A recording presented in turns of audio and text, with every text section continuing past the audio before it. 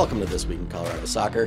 Joining alongside head coach Danny Sanchez, coming to you this week from the locker room. Yeah, the newly renovated last season locker room, very nice. Yes. Just gonna get right to it. Yeah. Uh, sometimes it's not your day, and and Saturday was definitely that day for the Buffs. But uh, take us through the match. Obviously, um, a tough loss, but uh, a quick start for the Buffs. Yeah, I mean, our best start of the year. Um, maybe we shouldn't do that again, but yeah, nice, nice service from Rachel.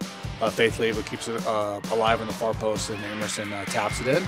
So it's a minute and a half in, and we're up a goal. Um, you know, after that, I, th- I think we just lost our way a little bit, and uh, you know, we give up the, the goal on the counter. Everything's fine, but then we give up the, the penalty kick, which you know, it's unfortunate for Phoenix. The ball hits her hand, but at the end of the day, it's a penalty, and, and then we're reeling. And, uh, you know, we just didn't really bounce back. I thought the second half was a little bit better, but, you know, to be fair, the, the game was uh, um, stretched at that point. Uh, so uh, it's one game. Uh, like Jason Green pointed out, we had been losing for 45 seconds all year. Um, so we tacked on about 88 minutes to that uh, total. But it's one game. We're 10 2 and 1. Um, and we control our destiny still, and we have a huge match, which we'll talk about with Texas Tech on Thursday. But but overall, I'm, I'm pleased with how the team bounced back. Um, it was very disappointing.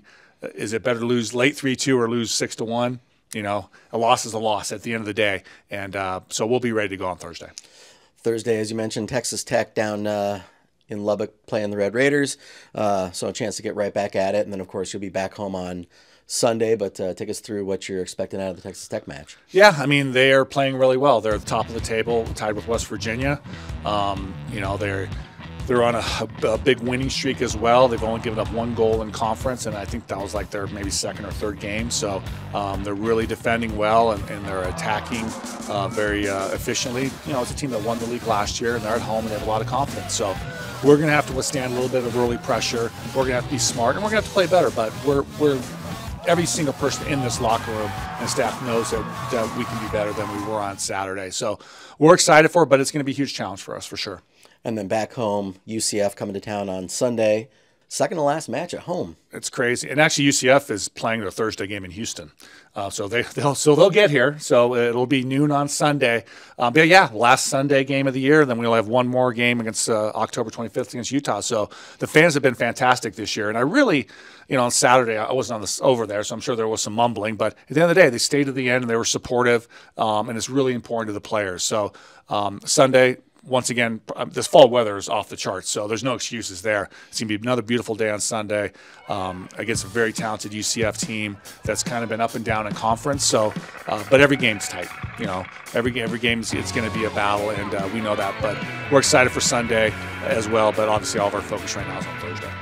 As a PSA to our fans, I don't know that everybody. I'm, I I assume that they know that there's a tournament, which is why we're playing Utah, and it's like, but it's not going to be snowing like a normal senior day.